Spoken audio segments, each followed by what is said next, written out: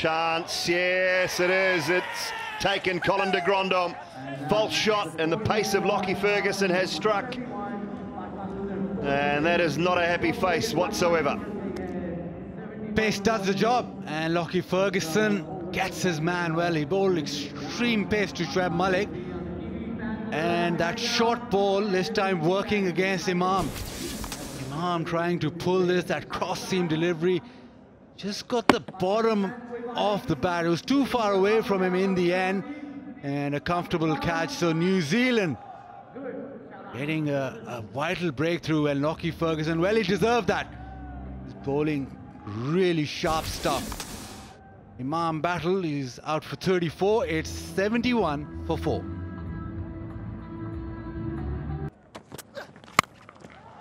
It's a slower ball down the throat. Taken. Oh, he's close to the boundary, Trent Boult. Can't keep him out of the game. Hat-trick, hit a six, taking a catch. Got a smile on. Yeah, very impressed by a bowler, Ferguson. He's not only got a pace, he's got the the slower one to work with. And a leg cutter, nice leg cutter.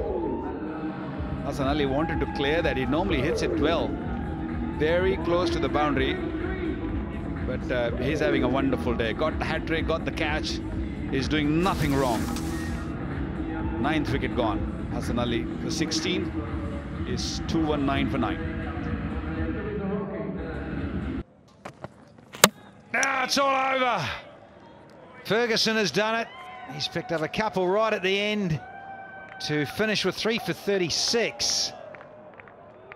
But, uh, can't blame Shaheen Afridi. He's there to open the bowling and get people out, and he did earlier in the day. But uh, in the end, New Zealand get home by 47 runs. And Pakistan bowled out in 47.2 for 219. Yeah, 12th ODI victory on the trot against Pakistan. Yeah, they're wonderful side, and, and, this is the fifth victory here in Abu Dhabi. They only lost once to Pakistan here on this field. Yeah, but uh, full credit to the New Zealanders. Uh, they were just spot on with the bowling. They bowled pace, they bowled good slower ones, and this one was quick and full, straight, picking up the last wicket of Shaheen Shah and winning the game by 47 runs. Pakistan really got to go and dig deep and see what where they gone wrong.